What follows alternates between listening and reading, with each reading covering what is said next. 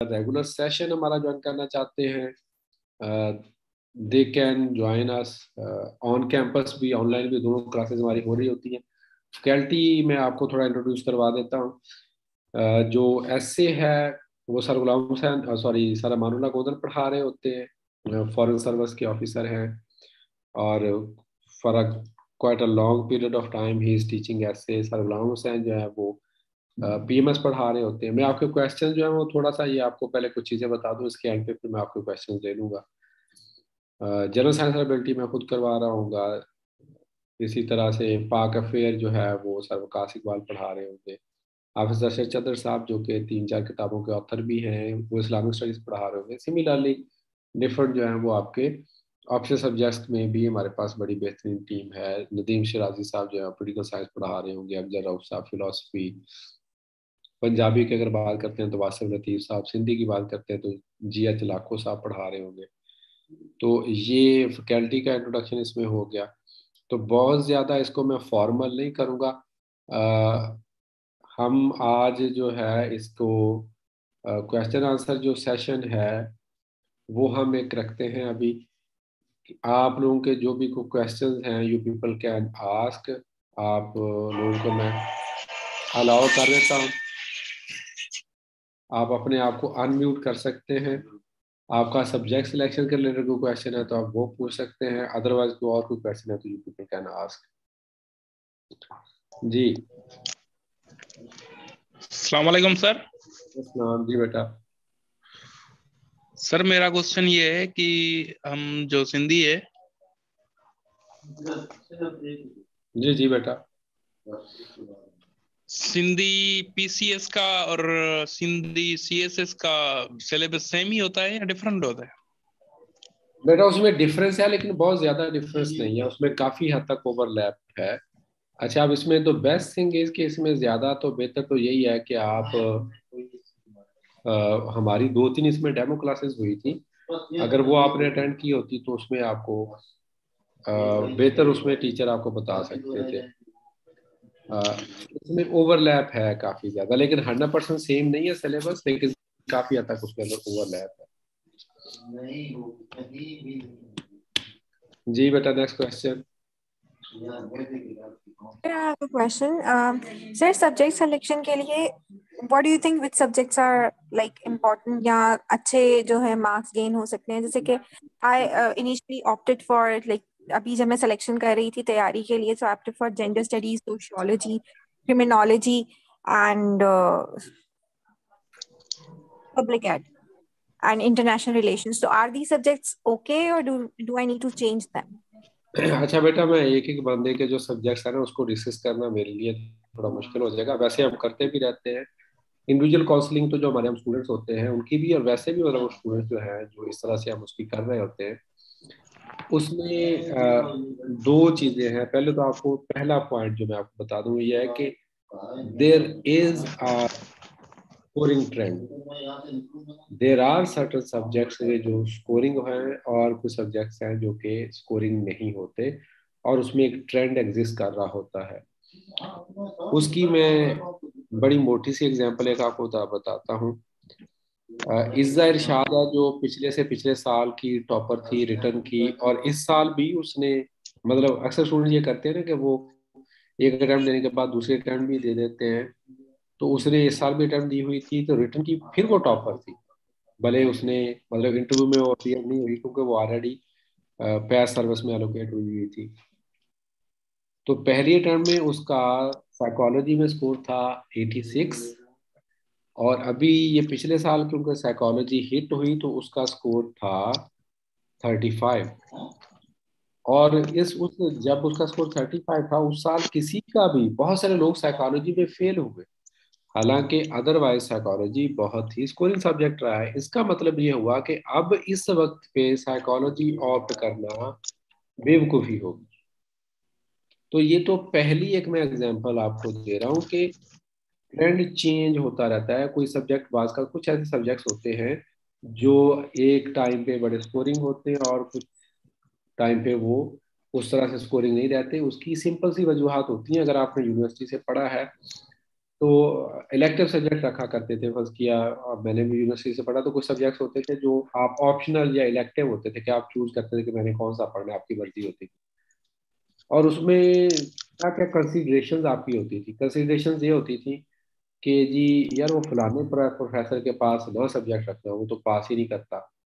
यार वो जो फलाना है, वो तो नंबर ही नहीं देता, या फलानी टीचर जो है, वो तो फेल कर देती है। यार वो फलाना जो टीचर है, या फलानी जो टीचर है, वो तो सबका उसमें ए ग्रेड आ जाता है।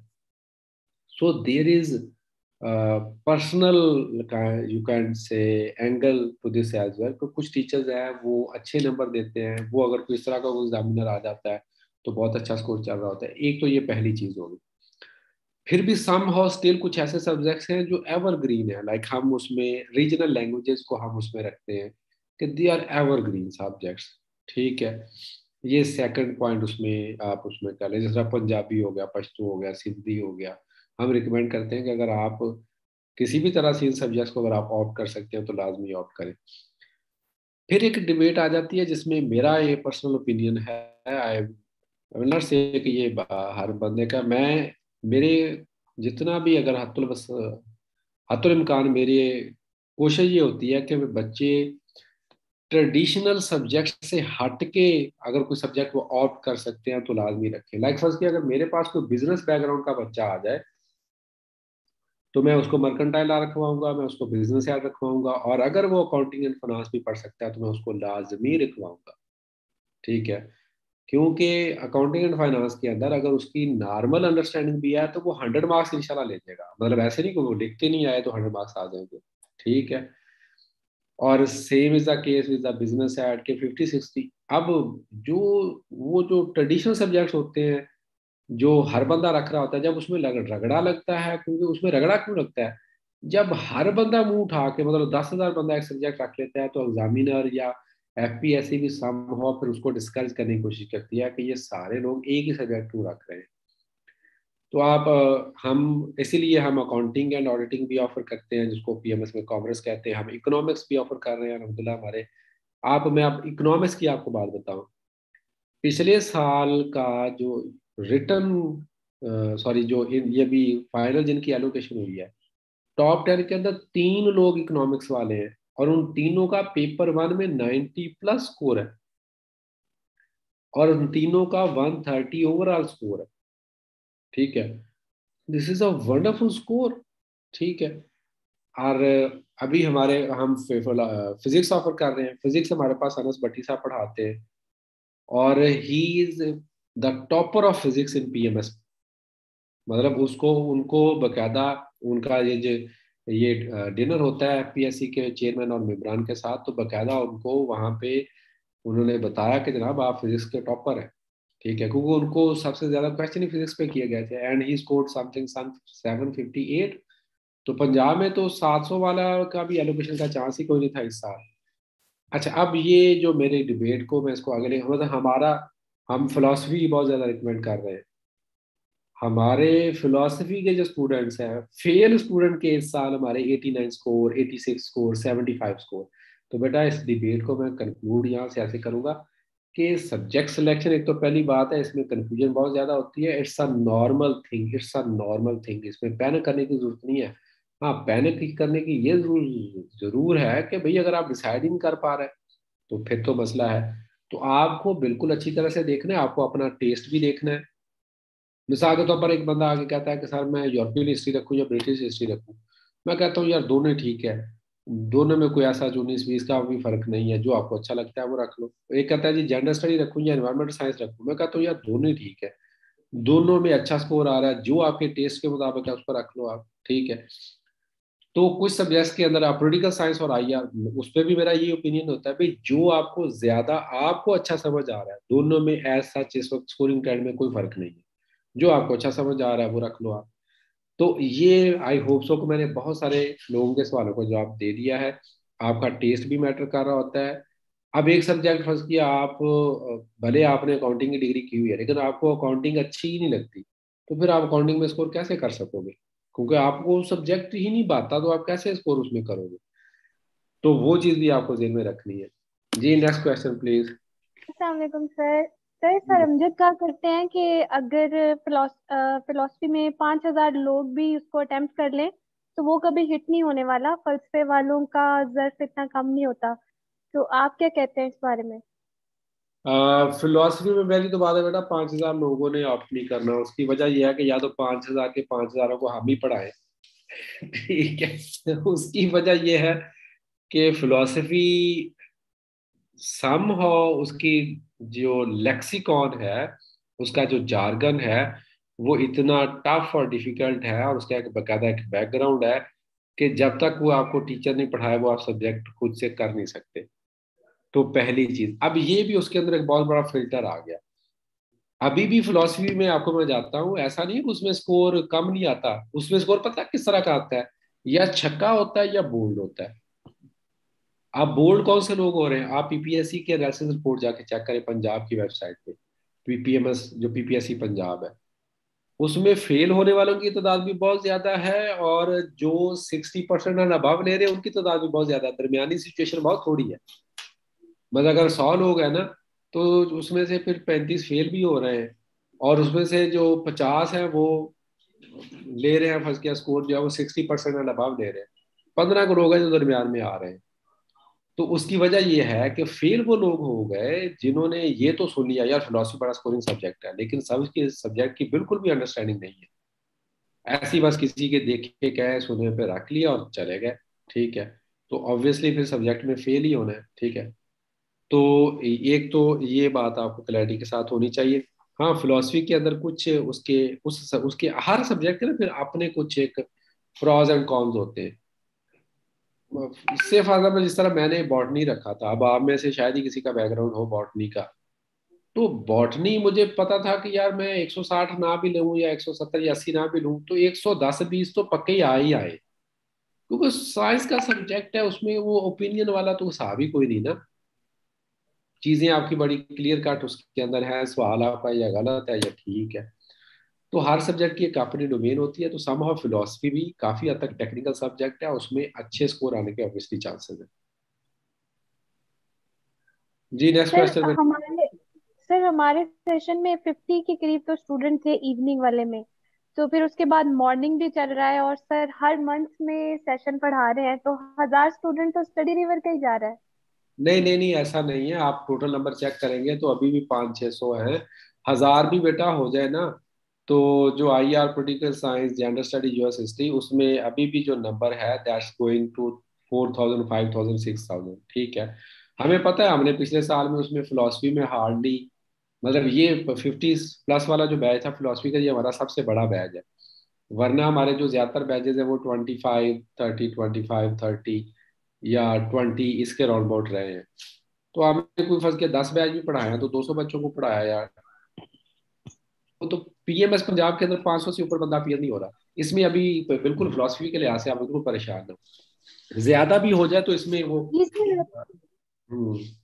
सर हमारा फिफ्टी वाला बैच था ना तो उसमें सिर्फ़ एक मेरा पीएमएस था बाकी सब लोग सीएसएस के थे तो पीएमएस में तो बिल्कुल नहीं आ रहे तो हम्म। रखना चाहिए लोगों को वो सीएसएस में भी अभी इसलिए आया ना कि वो जो जो हमारे फेयर स्टूडेंट का इतना स्कोर देखे। अच्छा मैं इसमें एक और आपको एग्ज़ाम्पल देता हूँ। उमेर कुजर मेरे एक स्टूडेंट है डेप्टी कमिश्नर इनकम टैक्स है। इस दफ़ा अब वो उनकी सीवी किसी ने शेयर की थी तो टोटल स्कोर उनका जो आया DC income tax total score उनका आया तकरीबन कोई 500 से कम 400 पता नहीं, अस्सी, बयासी समथिंग इसके राउंड अबाउट था। और फिलासफी में कितना था? 88 था या कुछ, इसके राउंड अबाउट ही था। ठीक है। And is it is the third time के he scoring 85 plus in philosophy ठीक है। उन्होंने पहली अटेम्प्ट दी थी तब फिलोसफी 200 नंबर का हुआ करता था तब उन्होंने पता नहीं एक सौ छिहत्तर स्कोर था कोई समथिंग इतना स्कोर था। और उनकी एक वीडियो भी हमारे चैनल पे पड़ी हुई है। ठीक है। सो so, ये वॉइस डिस्टॉर्शन मेरे ख्याल में अभी भी वॉइस डिस्टॉर्शन है क्या? एक्सक्यूज मी सर क्लियर है। जी। अच्छा जी नेक्स्ट जी साथ Syed Jameel.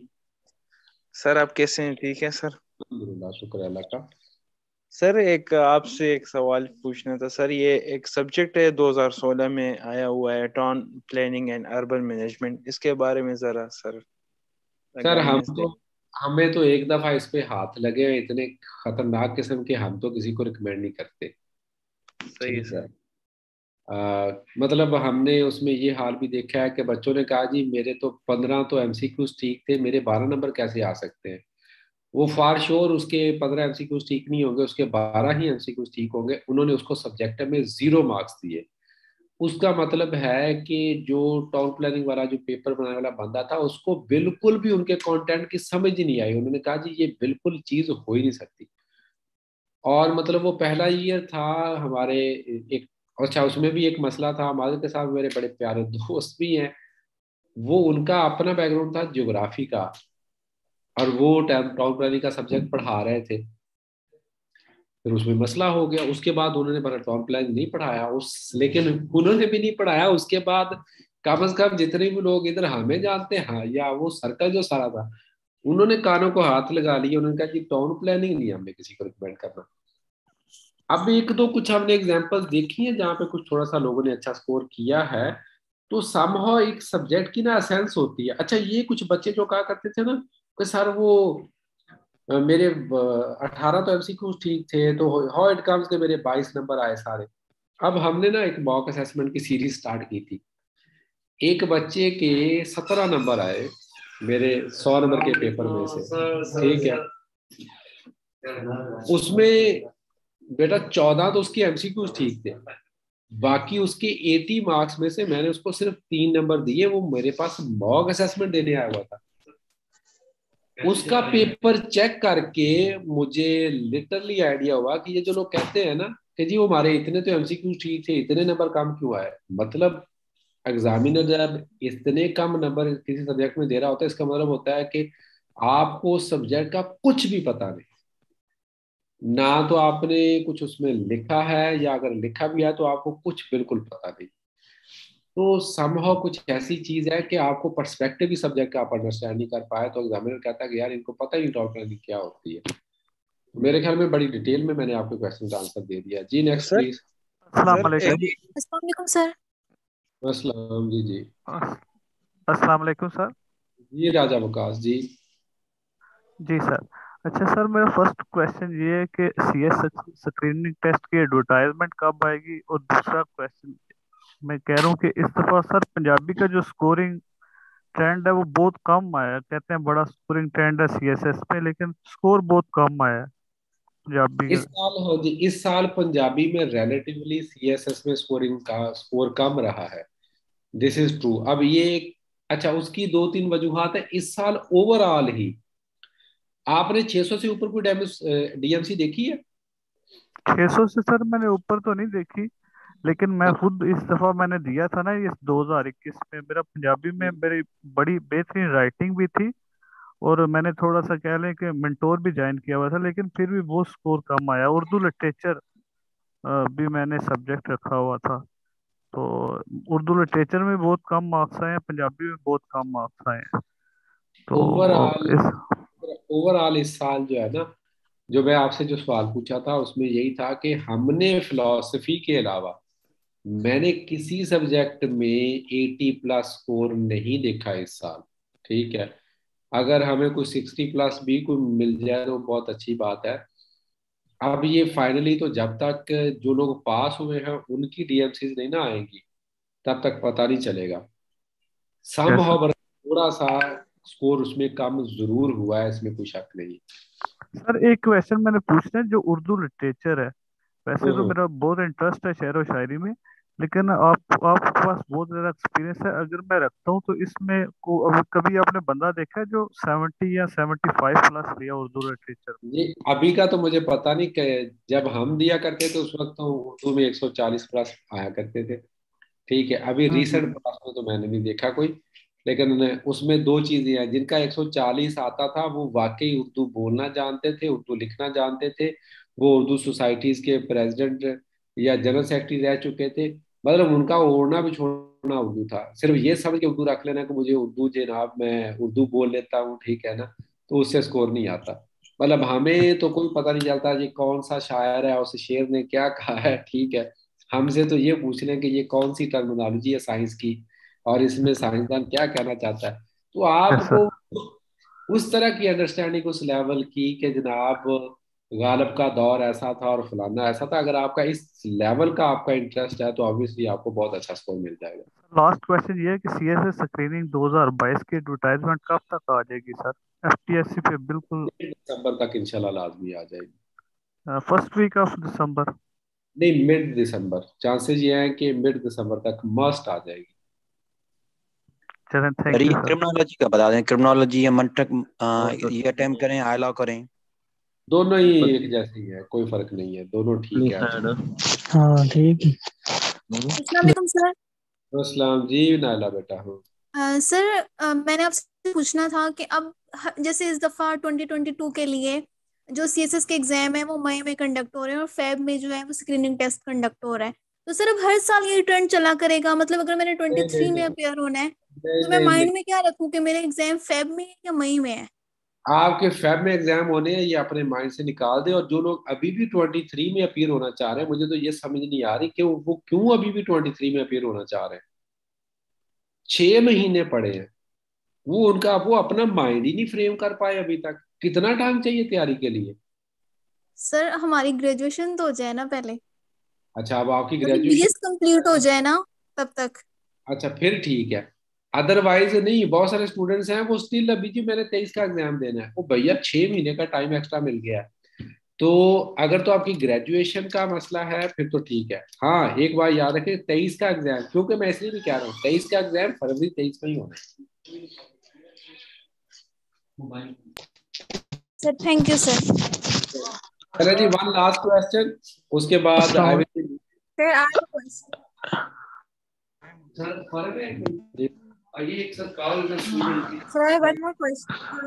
when will you be offering uh, the courses? Like uh, ये जो uh, इसका टाइम पीरियड क्या होगा? जिस कोर्स की आप बात कर रहे हैं अभी? इस सीएसएस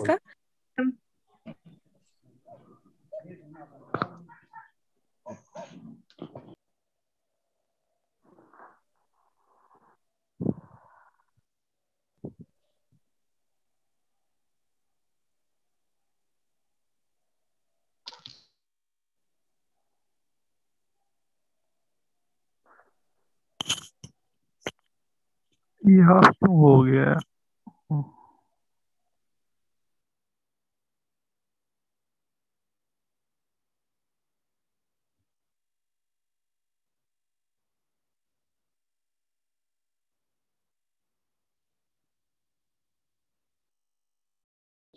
जी बस होल्ड ऑन सर अभी दोबारा ज्वाइन करते हैं, थोड़ा वेट कर लें, ठीक है? सर मीटिंग में बस उन्होंने माइक को कैमरा ऑफ़ किया थोड़ी देर के लिए, एक दो मिनट के लिए, वो दोबारा आपसे मुखातिब होंगे दो मिनट तक।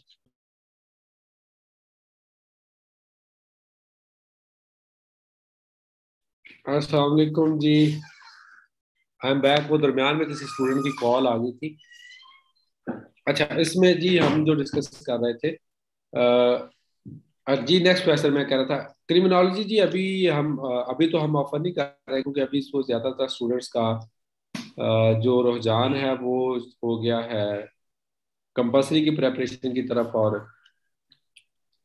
क्या कहते हैं स्क्रीनिंग की तरफ़ अभी कंपल्सरी पहले सब्जेक्ट चला रहे हैं। क्रिमिनोलॉजी हम ऑफ़र करेंगे थोड़ा कुछ टाइम के बाद, ठीक है। Sir Ghulam Hussain is here so I would love to invite sir कहाँ पे हैं आप? चले आओ। मोहब्बत का तकाजा है। अस्सलाम वालेकुम स्टूडेंट्स गुलाम हुसैन एयर और मियाँ साहब से आजकल थोड़ा सा मैं दूर हूँ तो ये दूरियाँ कम होने वाली हैं। मंडे से इनशाला और मेरी तरफ़ से सर मैं I I offer my counselling here for PMS Punjab PMS Punjab के रिगार्डिंग uh, कोई सवाल है बच्चों का तो they can ask me sir जी मैं ओवर टू यू अभी कर रहा हूँ। यहाँ पे हैंड ओवर मैं लीव कर दूँगा मीटिंग ठीक है? क्योंकि मेरे सर. साथ हाँ एक दोस्त है बैठे हुए पुराने तो हम फिर मैं उधर मसरूफ पहुँच जाऊँगा ठीक है? ओके ओके ओके अल्लाह हाफिज ओके अस्सलाम वालेकुम सर वालेकुम सलाम जी सर मेरा नाम बहादुर है और मैं इस्लामाबाद से हूँ। तो मैं आपसे ये पूछना चाहता हूँ कि क्या इस्लामाबाद वाले जो है वो पीएमएस में अपेयर हो सकते हैं? नहीं। अगर आपका डोमिसाइल इस्लामाबाद का है तो you fall in capital territory तो आप अप्लाई नहीं कर सकते। आपका एक एग्ज़ाम होता है एफपीएससी लेता है जिसको सॉप कहते हैं S O P E SOP ठीक है? वो ऑफ़िस मैनेजमेंट का ग्रुप आप सेक्शन ऑफिसर भर्ती होते हैं सेवनटीन स्केल में। वो एफ़ ही लेता है आपका। सर इसके मतलब अगर थोड़ी सी आप मुझे डिटेल दे दें कि ये कब एफ़ जो है कंडक्ट करता है ताकि इसके ऊपर हमारी एक वीडियो मौजूद है। आप हमारे यूट्यूब चैनल पे जाकर एस ओ पी ई लिखें तो वो आपको उसमें डिटेल मिल जाएगी। इसमें प्रमोशनल एग्ज़ाम भी होते हैं और फ्रेश इंडक्शन भी होती है। थैंक यू सर ओके अस्सलाम सर। वालेकुम सलाम जी। सर मैं ये पूछना चाह रहा था कि जी। सर सी एस एस के ऑप्शनल सब्जेक्ट्स के हवाले से पूछना था कि इंजीनियरिंग बैकग्राउंड है और उसमें सब्जेक्ट जो है वो physics computer science gender studies और क्रिमिनोलॉजी तो ये मतलब सही है सिलेक्शन गुड ऑप्शन बेहतरीन ऑप्शन है। बेहतरीन ऑप्शन है। इसका एक एक चीज़ हमेशा याद रखिएगा। तीन चीज़ें आपकी साइड पे मैटर करती हैं और एक चीज़ जो है वो कमीशन की साइड पे मैटर करती है। आपकी साइड पे जो तीन चीज़ें मैटर करती हैं, वो आपका सब्जेक्ट में इंटरेस्ट प्लस बैकग्राउंड मतलब मेरा इंग्लिश लिटरेचर है, ठीक है? और मेरा इंटरेस्ट भी है उसमें इंग्लिश लिटरेचर में। मैं उसको बहुत अच्छी तरह से समझता भी हूँ, जानता भी हूँ। वो मेरे लिए एक डबल एज हो जाएगा। मतलब एक लेवल प्लेइंग होगा कि आपका इंटरेस्ट भी है, उसमें आपकी डिग्री भी है, आपका एक साउंड बैकग्राउंड भी है। वो अच्छा है। अगर आप उसके, उसमें बैकग्राउंड नहीं है फॉर एग्ज़ाम्पल जैसे कि पंजाबी, मेरा सी एस एस की तीनों अटेम्प्ट में पंजाबी रहा है पीएमएस की तीनों अटेम्प्ट में मैंने पंजाबी अटेम्प्ट किया। क्यों पंजाबी अटेम्प्ट किया? बिकॉज़ मेरा उसके साथ थोड़ी सी एफिलिएशन थी, मेरा ग्रेजुएशन में पंजाबी मैंने ऑप्शनल रखा, फिर जो हमारी लैंग्वेज है, वो थोड़ा सा एसोसिएटेड है, हम शेर व शायरी में थोड़ा इंटरेस्ट होता है मतलब फिफ्टी परसेंट बैकग्राउंड था देन फिफ्टी परसेंट जो था उसमें इंटरेस्ट भी शामिल हो गया। तो जब आपका इंटरेस्ट और बैकग्राउंड दोनों मिल जाते हैं तो आपके लिए वो जो सब्जेक्ट है, वो बड़ा इंटरेस्टिंग हो जाता है। दूसरी बात दूसरी बात, किसी भी सब्जेक्ट को सिलेक्ट करने से आप ये मत देखें कि सोशल मीडिया पे लोग उसके बारे में क्या कह रहे हैं।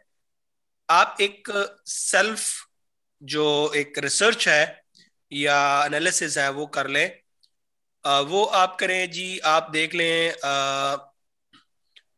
पास पेपर्स उठाएँ सिलेबस उठाएँ, और उसको थारोली एक एनालिसिस करें, अपनी एक अप्रोच बनाएँ कि पास पेपर्स में ट्रेंड क्या रहा है सिलेबस किस नौयत का है, और इसके ऊपर अवेलेबल जो सोर्सेज हैं आपके, वो कौन से हैं?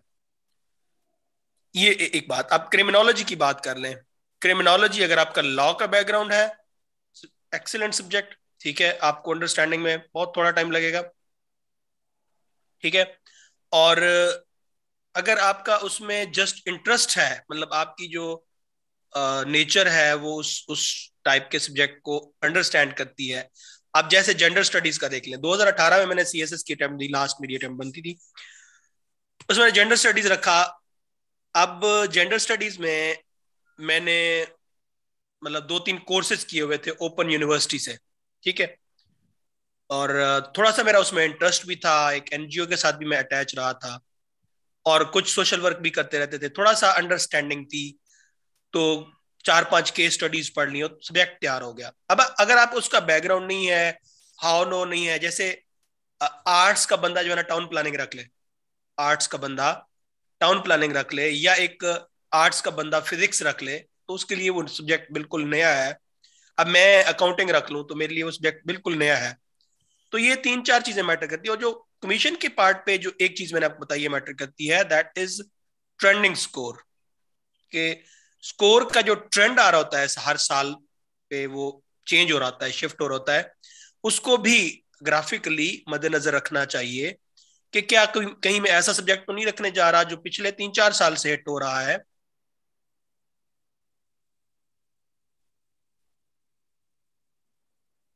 Uh, मैं एक मिनट में बच्चे आप आपके आंसर्स का क्वेश्चंस का देता हूँ answer just let me conclude it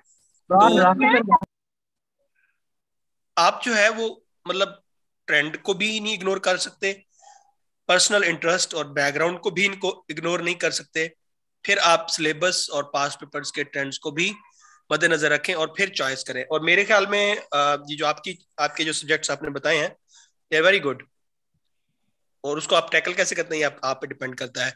आज जी, कुछ बच्चों ने सवाल किया है जी इंग्लिश लिटरेचर का बैकग्राउंड है, पंजाबी और फिलोसफी आप कर सकती हैं, बिल्कुल कर सकती हैं जी। पीएमएस के ऑप्शनल सब्जेक्ट्स इंजीनियरिंग बैकग्राउंड के लिए। यार पीएमएस की जहाँ तक बात है ना एक मिनट। जो पीएमएस की बात है पीएमएस के ऑप्शनल सब्जेक्ट्स की बात है आपको अभी अभी अगर आप लोगों में से किसी ने रिज़ल्ट देखा है डिटेल रिज़ल्ट देखा है पीएमएस का तो जो टॉपर्स हैं मतलब जो फ़र्स्ट पोजीशन होल्डर हैं, उसके आठ सौ पचपन नंबर हैं सेकंड पोजीशन होल्डर के भी सवा आठ सौ है, और फिर थर्ड पोजीशन होल्डर के भी आठ सौ सत्रह नंबर है रिटर्न में। हम टॉकिंग अबाउट रिटर्न स्कोर अब पीएमएस में स्कोर जो है वो 800 से ऊपर चला गया है। इट मींस कि आपको स्कोर चाहिए। ठीक है? ज़्यादा स्कोर हासिल करने के लिए आपको वो सब्जेक्ट हासिल करने चाहिए जो ज़्यादा स्कोर दे रहे हैं। तो उसके लिए मैं आपको आपको एडवाइस करूँगा for solely for PMS not for CSS ठीक है? पीएमएस आप पीपीएससी की वेबसाइट पे जाए पब्लिकेशन के बटन को दबाएँ, नीचे उनकी तीन चार साल की रिपोर्ट्स हैं। रिपोर्ट्स डाउनलोड करें उनमें ऑप्शनल सब्जेक्ट्स के हर साल की रिपोर्ट पे जाएँ। मतलब 2018 की रिपोर्ट देख लें 2019 की देख लें 2020 की रिपोर्ट देख लें एंड uh, 2000 मेरे ख्याल में इक्कीस की भी आ गई है रिपोर्ट वो रिपोर्ट देख लें और साथ में देख लें कि कौन सा सब्जेक्ट जो है वो टॉप uh, पे जा रहा है कौन सा अब पहले मैं रिकमेंड करता था कि जी आप सोशल uh, वर्क रख लें आप मैथ कम्युनिकेशन रख लें ठीक है? पब्लिक एडमिनिस्ट्रेशन रख लें। अब ये सब्जेक्ट हिट होना शुरू हो गए हैं। मतलब इनके हिट तो नहीं होते पीएमएस में हिट नहीं होता सब्जेक्ट लेकिन स्कोर कम आना। अब किसी सब्जेक्ट का कंसिस्टेंटली सब्जेक्ट स्कोर जो है वो लो आ रहा है तो आप उसको ऑप्ट ना करें। अब पंजाबी जो है, पंजाबी पीएमएस में एवर ग्रीन सब्जेक्ट है। मैं इसको गोल्डन सब्जेक्ट कहता होता हूँ। अक्सर इंटरव्यू में मियाँ साहब के साथ भी मैं इसको गोल्डन सब्जेक्ट कहता होता हूँ, ठीक है? तो पंजाबी को आप लाजमी ऑप्ट करें। फिर उसके साथ देख लें फिलोसफी बेहतरीन ऑप्शन है पोलिटिकल साइंस बेहतरीन ऑप्शन है। उसके बाद मैथ्स कम्युनिकेशन अगर आप उसको थोड़ा सा बैकग्राउंड है या थोड़ा सा इंटरेस्ट है तो उसको आप अच्छे तरीके से हैंडल कर सकते हैं। तो बहुत अच्छा सब्जेक्ट है।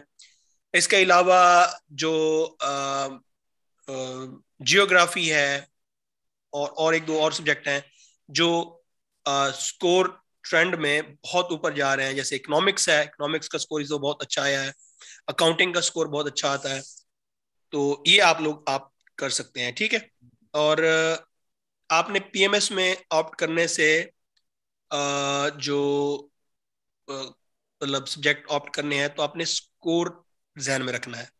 जस्ट पास कर लेना जो है ना अब अब उसका कोई फ़ायदा नहीं रहा।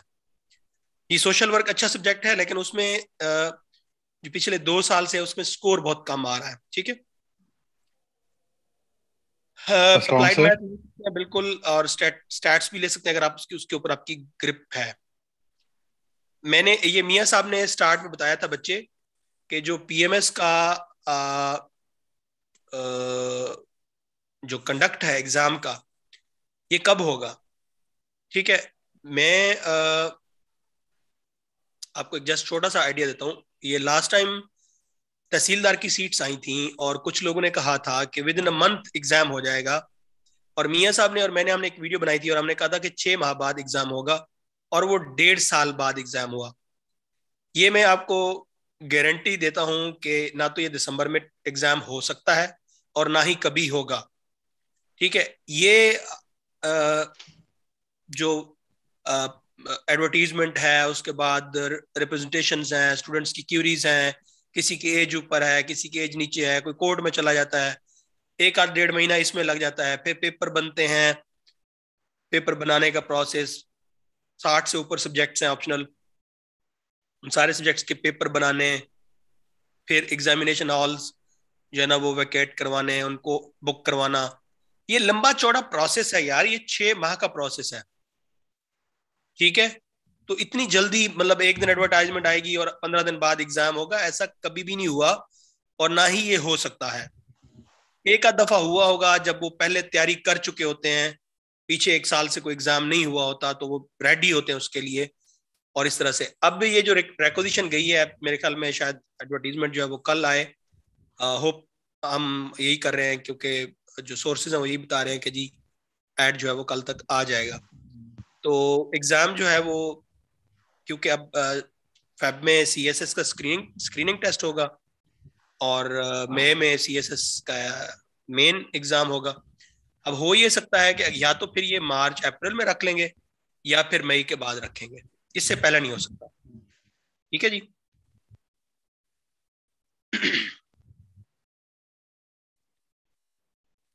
कि सी एस एस में पीएमएस में आपकी चार साल सर्विस, अगर कंजेक्टिव चार साल सर्विस है तो आप पैंतीस साल तक अप्लाई कर सकते हैं। ठीक है? Sir governance and public policy CSS के लिए बता दें और एक तो टीचर्स नहीं है। सर शकीक से कहा था उन्होंने कहा था अभी तो मेरे पास टाइम नहीं है। अगर आप पढ़ा दें तो अच्छा होगा। गवर्नेंस एंड पब्लिक पॉलिसी मैं पब्लिक एडमिनिस्ट्रेशन पढ़ाता रहा हूँ। uh, लेकिन गवर्नेंस एंड पब्लिक पॉलिसी जो है ऐसा सब्जेक्ट है जिसपे टीचर्स uh, जो है वो कम है बुक्स भी जो मटेरियल है वो ज़्यादा इतना अथेंटिक नहीं है सोर्स नहीं है। इसमें यह है कि अगर आपका कोई बैकग्राउंड थोड़ा सा है, इसमें इंटरेस्ट है तो आप इसको ज्वाइन करें। अदरवाइज़ इसकी जगह पे कोई और सब्जेक्ट देख लें मेरे ख्याल में। और स्कोर का जो है ना, वो भी देख लें। सर स्कोर 2021 सीएसएस में बहुत अच्छा आया है कंपेयर टू अदर सब्जेक्ट्स क्योंकि लेस टॉप्टेड है। और बुक्स जो है वो जो उसकी रिकमेंडेड किताबें हैं वो लाहौर उर्दू बाज़ार से पता किया मिल रही हैं और मैंने मंगवाई भी है। इंसाइक्लोपीडिया ऑफ़ गवर्नेंस जो है उसके दोनों वॉल्यूम्स देख लें अगर आप आपका उसमें इंटरेस्ट है तो you must go for it क्योंकि बेसिकली इंटरेस्ट uh, ही होता है समटाइम्स आपका बैकग्राउंड भी होता है इंटरेस्ट भी होता है तो वो कॉम्बो हो जाता है और आपको जो है वो फ्लाई करवा जाता है। इसमें आप पास पेपर्स भी जरा देख लें ठीक है? सलामकुम सर। जी वालेकुम सलाम। सर मेरा ये सवाल है आपसे कि आप रेगुलर सेशन पीएमएस का कब स्टार्ट कर रहे हैं? बच्चे रेगुलर सेशन जो है वो मंडे से स्टार्ट हो रहा है। कल इनशाला ऐड आ जाएगा। मंडे को हमारा एक सेमिनार भी है। और तीन दिन जो है हमारी वो ओपन क्लासेस होंगी। उसके बाद रेगुलर सेशन स्टार्ट हो जाएगा। और जो आप फुल फुल पैक लेना चाहते हैं तो वो फोर मंथ का सेशन होगा। अगर आप इंडिविजुअल सब्जेक्ट्स लेना चाहते हैं तो वो भी आप अभी स्टार्ट में हम कंपलसरी ऑफ़र करेंगे। क्योंकि हम हमारी जो स्कीम है वो इस तरह से है कि चार माह का जो कोर्स है वो स्टूडेंट अपनी मर्ज़ी से सब्जेक्ट्स एडजस्ट कर सकते हैं। जितने सब्जेक्ट वो लेना चाहते हैं जब तक लेना चाहते हैं इन चार माह में वो अपनी मर्ज़ी से रिशफलिंग कर सकते हैं। तो कस्टमाइज थोड़ा सा प्रोग्राम है हमारा। इस वजह से ये स्टूडेंट ओरिएंटेड है। जी थैंक यू सर जी। अस्सलाम वालेकुम सर जी वालेकुम सलाम बहादुर। सर uh, मैंने जो सब्जेक्ट ऑप्ट किया वो है इस्लामिक हिस्ट्री क्योंकि मैंने डिफरेंट रिलीजन्स की बुक पढ़ी है और दूसरा ये है कि मैंने ना हिस्ट्री भी पढ़ी है इस्लामिक भी। तो जियोग्राफिकली भी थोड़ा पता तो ये कैसा सब्जेक्ट है, इसके मतलब पूछना चाह रहा था। बेटा हिस्ट्री हिस्ट्री के साथ मेरा एक्सपीरियंस तो बहुत बुरा है। मैं आपको यहाँ पे एक जनरल आप लोगों को ना मैं एक नसीहत भी करूँगा। वैसे मियाँ साहब के स्टडी रिवर एकेडमी में ना मैं थोड़ा सा मशहूर हूँ कि जी गुलाम सैन साहब जो है ना वो मोटिवेशनल स्पीकर हैं। मैं आपको यहाँ पे ना एक पते की बात बताता चलूँ। मेरी एलोकेशन सिक्स अटेम्प्ट में हुई। मतलब मेरी पाँच अटेम्प्ट्स जो है ना, वो ऐसे गई। उसमें से मैंने सी एस एस की 2011 वाली पहली अटेम्प्ट पास कर ली थी। अब मैं आपको बता रहा हूँ एक पत्ते की चीज़ और बड़ी बेहतरीन चीज़ है। वो ये है कि विदाउट मेंटोर अगर आप सी एस एस पास भी कर लें पीएमएस पास भी कर लें तो आपकी एलोकेशन में बहुत सारे मसाइल आते हैं। मैंने 2011 वाला जो सीएसएस था, वो अपनी मदद आपके तहत बगैर किसी की कंसल्टेशन के दिया। और उसमें मेरा सब्जेक्ट था इंडो पाक हिस्ट्री एक सब्जेक्ट था इंडो पाक हिस्ट्री 200 नंबर का, क्योंकि उस वक्त 200 नंबर का ये होता था। मैंने वो एग्ज़ाम दिया और इंडो पाक हिस्ट्री में मेरी बड़ी बेहतरीन तैयारी थी। खादिम अली की किताबें मैंने पढ़ी हुई थी। खादिम अली के अली के नाम से मशहूर हैं जानते होंगे आप लोग। इंडो पाक हिस्ट्री के। अब मैंने उनको भी पढ़ा हुआ था और भी जो कंटेम्प्रेरी बुक्स थी पाकिस्तान अफेयर्स के ऊपर या इंडो पाक हिस्ट्री के ऊपर वो मैंने पढ़ी थी। बहरहाल जब मैं मेरा स्कोर आया 88 स्कोर आया आउट ऑफ़ 200 और मेरा ट्रिपल सिक्स स्कोर था ओवरऑल तो इंटरव्यू में ज़ाहिर है मैंने उस, उस तरह से प्रिपरेशन नहीं की। रिटर्न की भी मैंने उस तरह से प्रिपरेशन नहीं की। इसी तरह 2013 की अटेम्प्ट दी 2012 का पीएमएस दिया, फिर 2014 का पीएमएस दिया 2014 के पीएमएस में मैं क्वालिफाई कर गया। और उसमें भी एलोकेशन नहीं हुई। फिर मैंने 2018 का पीएमएस दिया। 2018 के पीएम सीएसएस में सॉरी मेरा यूएस हिस्ट्री था। यूएस हिस्ट्री भी मेरा ड्रॉप हो गया। ट्वेंटी सिक्स मार्क्स आए, पर पेपर बड़ा ज़बरदस्त बेहतरीन हुआ था। तो मेरा तो हिस्ट्री के साथ एक्सपीरियंस थोड़ा सा इस तरह से है। थोड़ा सा बैड एक्सपीरियंस है। अब अगर आपने मतलब ये है आ, वो इस तरह से है बच्चे कि हिस्ट्री जो है उसका जो एक टेंपो है उसकी जो अंडरस्टैंडिंग है उसका जो जॉर्गन है मैं हमेशा बच्चों को कहता होता हूँ कि बच्चे जब आप सब्जेक्ट तैयार कर ले हैं तो काइंडली एक चेकलिस्ट बना लें उसके जॉर्गन की, उसके खास जो लैंग्वेज का स्टाइल है, उसकी जो टर्मिनोलॉजी है रेलेवेंट टर्मिनोलॉजी और स्टार्ट में मियाँ शफीक साहब ने बताया। लेक्सिकॉन जो है आपका लैंग्वेज का, उसका पर्टिकुलर सब्जेक्ट का दैट इज़ वेरी इंपॉर्टेंट ठीक है? आपको उस सब्जेक्ट की लैंग्वेज आना शुरू हो जाती है, आप उस सब्जेक्ट को समझना शुरू कर देते हैं। हिस्ट्री में सबसे जो मुश्किल चीज़ है वो करंट इवेंट्स के साथ करंट हिस्ट्री के साथ उसको को रिलेट करना और उसकी मैपिंग करना लेबलिंग करना मैप्स को। ठीक है? हिस्ट्री के जो आप मिसाल के तौर पर आप फॉर एग्जांपल बता रहे हैं जी अब्बासी दौरे खलीफा में दौरे खिलाफत में, वो किन किन एरियाज़ पर उनकी हुकूमत थी? तो आपको नक्शा बना के बताना पड़ेगा। उस्मानिया खिलाफत का बताना है तो फिर आपको नक्शा बना के बताना पड़ेगा। तो वो काफ़ी डिफ़िकल्ट हो जाता है। अगर आप ये कर सकते हैं तो इट्स वेरी गुड बात समझ आ गई मेरी? जी सर जी सर मैं आपकी बात बहुत अच्छे तरीके से समझ गया थैंक यू एक तो जॉर्गन जॉर्गन पर आपको अबूर हो? कंटेम्प्रेरी अफेयर्स हैं उनके साथ हिस्टोरिकल इवेंट्स को कोरिलेट करना मतलब इसको क्रिटिकल एनालिसिस कहते हैं आप। जी जी क्रिटिकल अप्रोच कहते हैं वो अगर और मैप मैप्स के ऊपर अगर आपको अबूर है तो आप जा सकते हैं। जी Rimsha criminology political science US history gender studies और पंजाबी ठीक है। बिल्कुल ठीक है। बिल्कुल ज़बरदस्त है। यूएस हिस्ट्री को थोड़ा सा रीथिंक कर लें और इसको चेक कर लें कंटेंट चेक कर लें और थोड़ा सा अपनी मेहरीन थैंक यू कल कल तो क्लास नहीं करेंगे मंडे को शायद मॉर्निंग में क्लास होगी इनशाला जी हमारा एक जो सेशन है उसका स्क्रीनिंग का वो मॉर्निंग में चलता है। मैं मॉर्निंग में पढ़ाता हूँ उसको उस वक्त मैं थोड़ा सा एनर्जेटिक होता हूँ। थोड़ा सा सोया सोया भी होता हूँ। चलें जी लास्ट टू क्वेश्चन मैं लूँगा इसके बाद हम इसको वाइंड अप करेंगे because time is up last two questions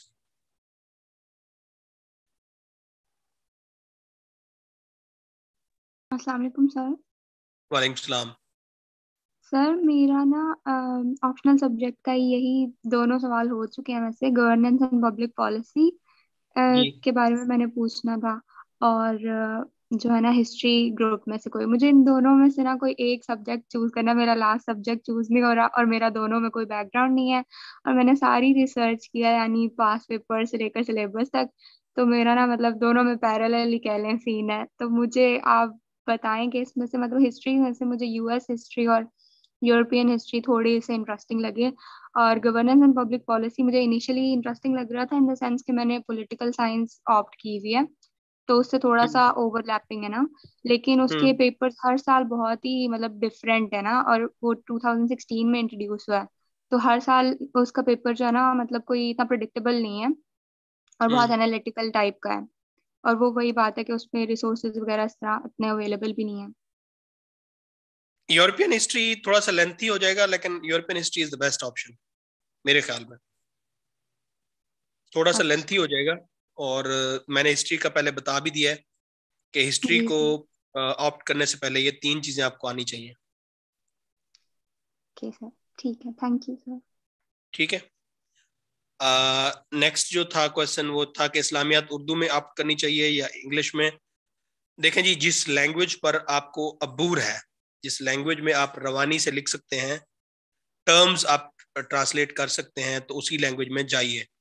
मैं उर्दू में अटेम्प्ट करता रहा हूँ, क्योंकि मेरी उर्दू राइटिंग बहुत खूबसूरत है, मुझे उर्दू अच्छी तरह से आती है, इसलिए मैं उसमें ट्राई करता हूँ। फायजा ने कहा है कि जी एक्सट्रीम डेट बताएँ सी एस एस पी में, इसकी एक्सट्रीम डेट क्या होती है जी? ये तो मैं टर्म ही पहली दफ़ा सुन रहा हूँ। जी नेक्स्ट क्वेश्चन जी।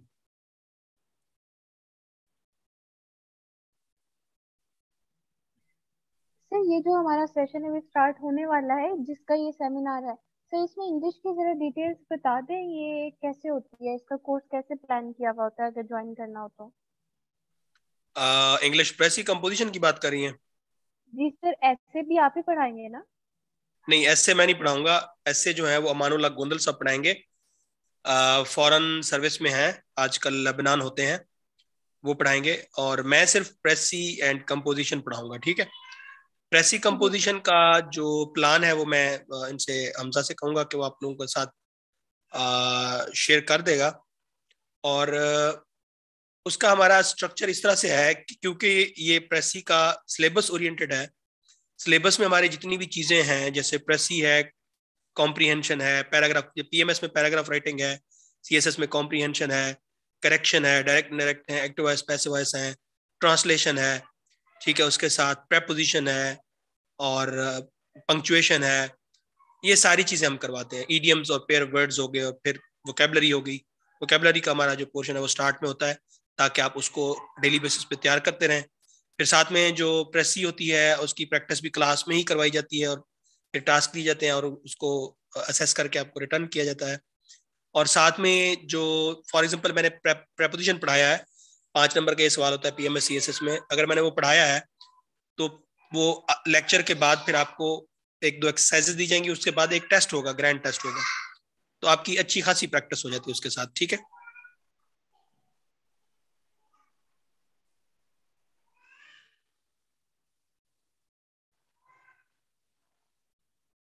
कि ये जो बच्चे पूछ रहे हैं सवाल, ये सारे सवालों के जवाब दिए जा चुके हैं। और ये सारे रिपीटेड क्वेश्चन है ये लाइव स्ट्रीम है यूट्यूब पे जाकर आप इसको देख सकते हैं जी। Thank you very much for joining us enrolments के लिए कमेंट uh, बॉक्स में जो है आपको कॉन्टेक्ट नंबर दिए गए हैं। आप ग्रुप्स में भी आप जो है वो पूछ सकते हैं ये नंबर नीचे शो हो रहे हैं। आप इन कॉन्टेक्ट नंबर्स पे रबता करके अपनी पूरी डिटेल दे सकते हैं ले सकते हैं जो फ़ीस के बात मामला हैं वो वो भी आप इसको ज्वाइन कर सकते हैं जी। थैंक यू वेरी मच जी। थैंक यू वेरी मच अल्लाह हाफिज